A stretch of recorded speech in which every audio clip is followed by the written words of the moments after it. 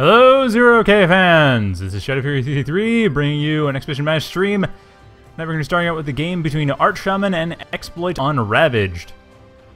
Let's get right to it.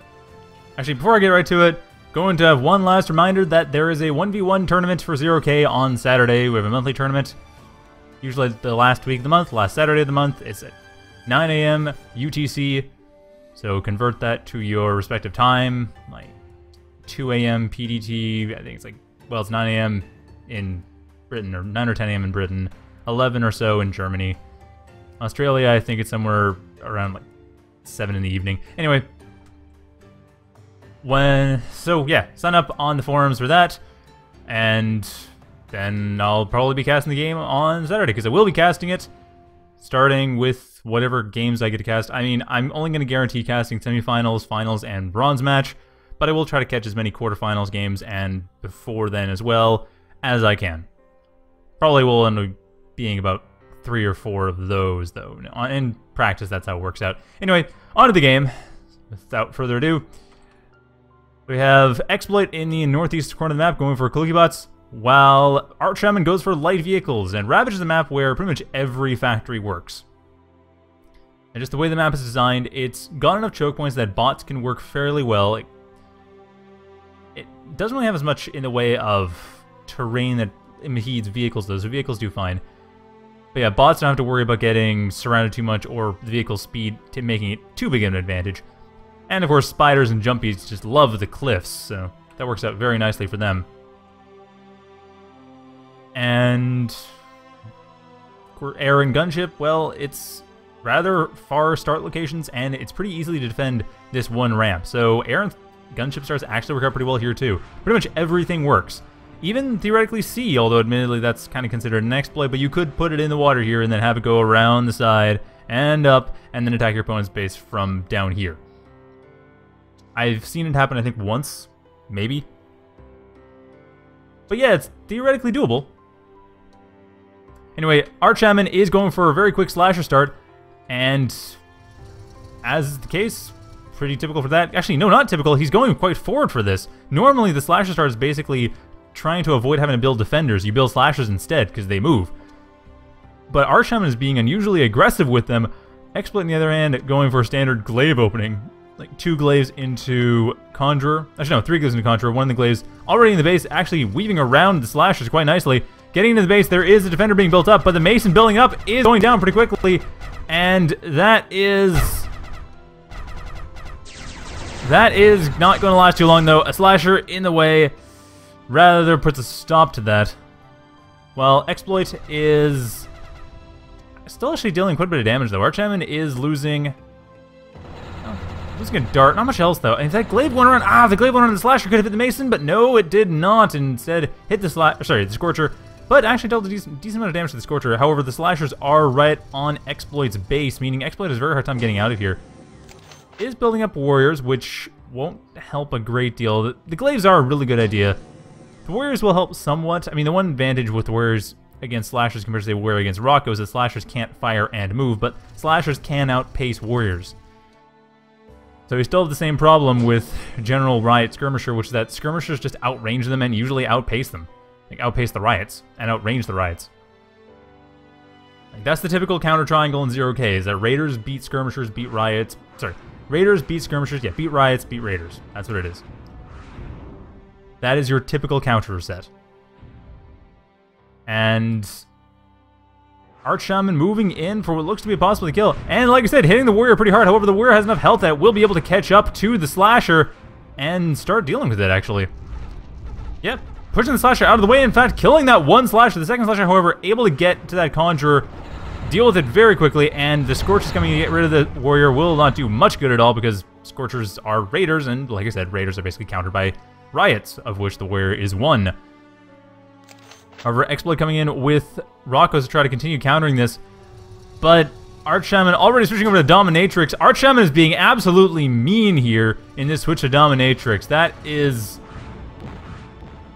That is not something you do if you're trying to be nice. That Dominatrix can be very annoying to deal with. However, Rockos are not a bad choice. I mean, basically, Exploit's already built the counter with the Rockos.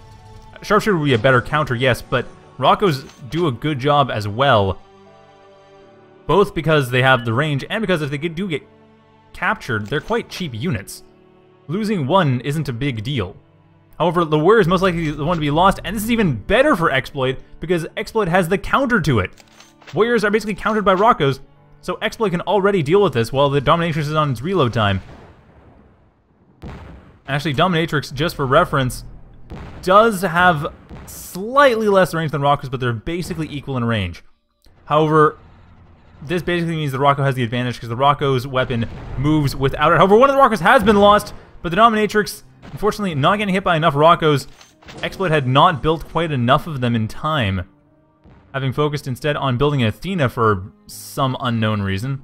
Regardless, reclaiming the Athena, ultimately not going for it, but using that money to fund the Cloakbot Factory, fund all the Rockos, and at this point, we do have a Glaven here in our Shaman's base, getting rid of a couple wind generators, actually getting rid of the entire energy economy. Nothing our Shaman has will counter this right now, except for the Commander, which is certainly doing his job.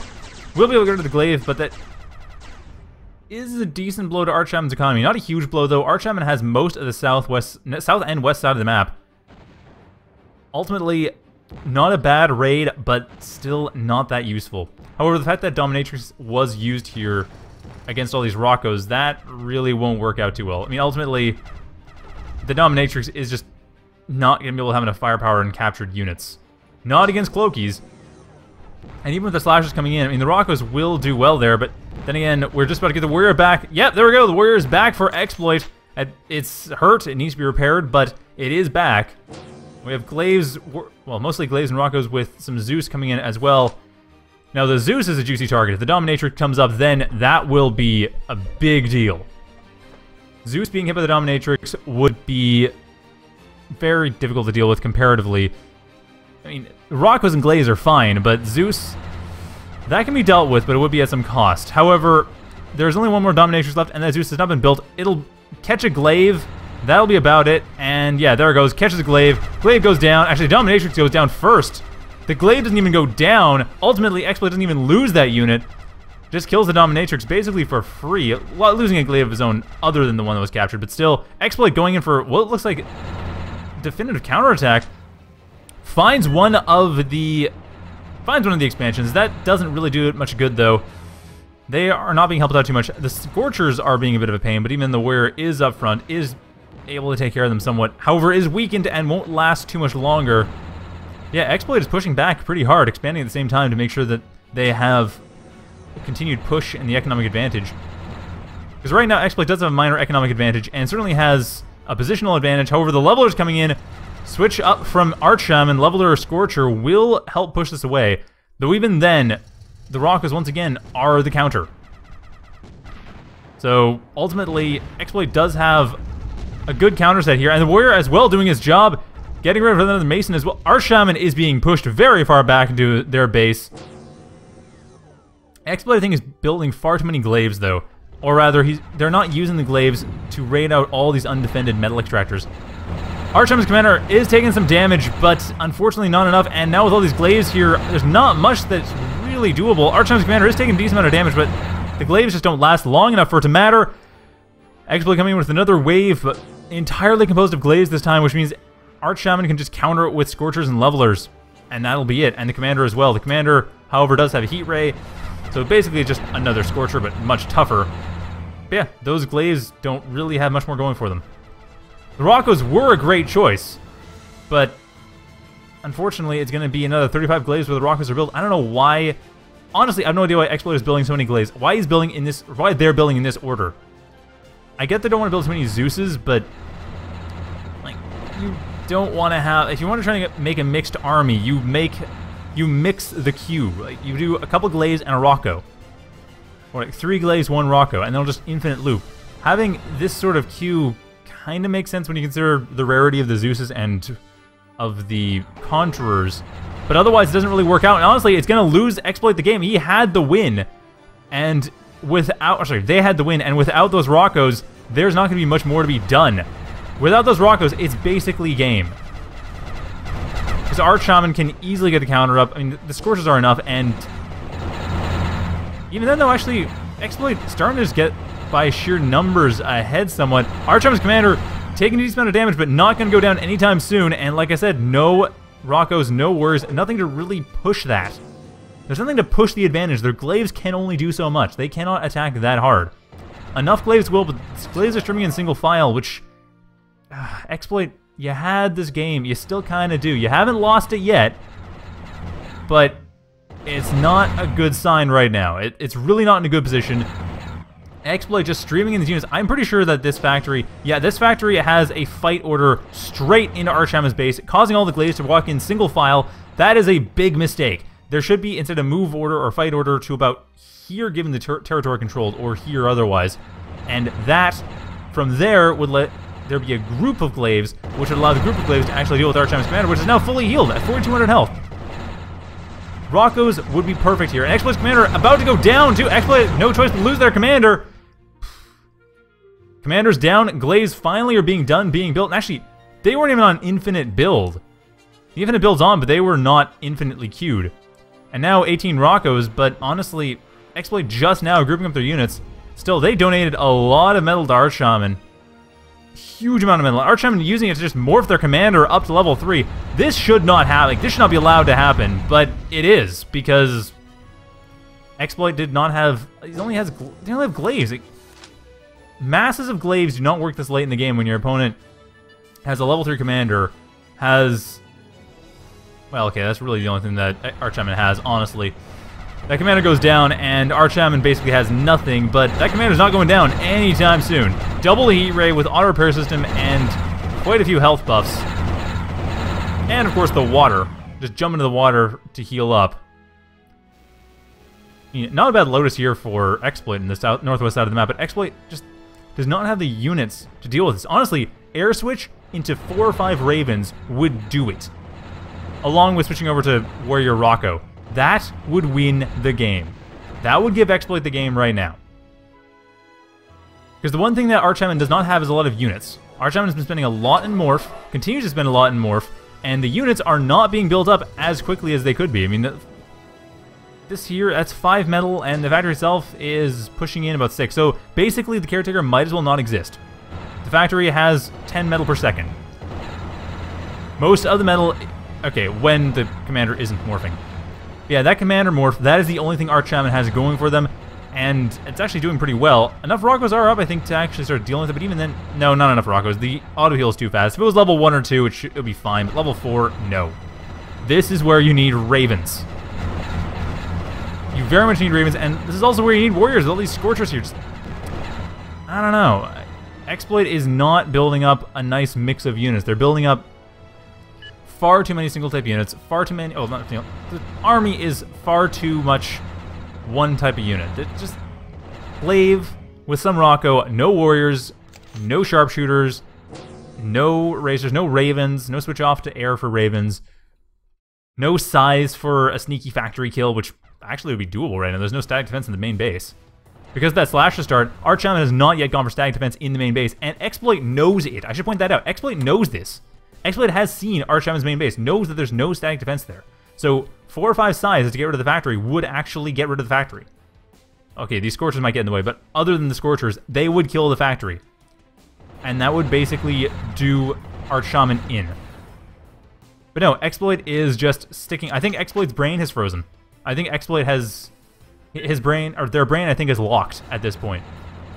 They're stuck in this thinking of, no, I have, I have this, I have to do this, I have to do this. This is what I do. I have Rockos and I have Glaives. And I know that feeling, and I hate that feeling, and is one of the hardest feelings to have in the game. I think that's what's happening, because it really looks like Exploit is just trying to execute a strategy that they probably realize is not working very well, but don't know what to do instead. The answer in this case is Ravens, and to a lesser extent Scythes. However, the Glaives also doing some harassment, and Exploit is making sure to build up along the side. But even then, the Glaives are not doing enough. And the Rockos aren't doing enough. They aren't dealing enough damage in a short enough period of time. This is where Ravens would come in. And Warriors would also help out, actually. Warriors wouldn't be the best option, but they would work out pretty well in this situation. So, ultimately, Arch Shaman gonna win by Trollcom. Now just plowing into the base and is going to win by Trollcom against composition failure. Fortunately, Exploit did not have the right unit composition, and Art Arch Shaman just able to push through with a strong enough commander, basically. That, that's all it is. It's just it, it's Dota win. It's, the commander wins. And yeah, in case you're wondering, if you haven't, if you aren't aware, if you aren't someone who's played Zero K at all, there is actually a mod for Zero K that basically implements Dota. It's called Zero K Dota. Very imaginative, I know, but it is. I haven't actually played it much myself. I want to do a Shogasan at some point. Never got a chance. Might be able to do it at some point, but yeah, this is what, it, what I'd call a Dota win because the commander does all the work. And the commander's done all the work and actually has succeeded at doing so. Exploit now lost the game, lost their factory. Actually, lost a factory. Not lost all of them. They have a light vehicle factory over in the northwest side of the map, but air is the only real choice. Air into Ravens to get rid of the commander. That's the only thing that would really do the trick. Because right now, we're looking at half a dozen auto repair systems. Just, that's it. Exploit's argument's invalid. Six auto repair systems on this commander. Or not just argument, more so units. Their units are invalid. It would take about eight, no, seven, seven Ravens, possibly eight just in case for timing, but seven if they all hit at once to kill this. That's 2100 metal. I think Exploit could do that. It would take about a minute and a half, but it's doable. Actually, it would take about two and a half minutes to build the factory in the first place. But that's not going to happen. In fact, Arch Shaman has taken advantage of the situation and started building Wolverines as well. Oh yeah, she went on Cloaking Field too. Yeah, just, just, yeah. I mean, Exploit trying to build this light vehicle factory, possibly not aware of what's going on, but I think, I think he's got to be. Yeah, he's he's got to be aware of what's going on. There's just too much. There's just too much coming in here. Too much that's cut through. And yeah, there we go. Arch Shaman has won exploit thrown in the towel. And I will be back with another game, but maybe. Give me a sec. So I'll be back with another game. It might be 0K. I don't mean to bait and switch, but I was actually trying to do something else that didn't... That timing got messy on. Stay tuned. It might be 0K. It might not but it will be something.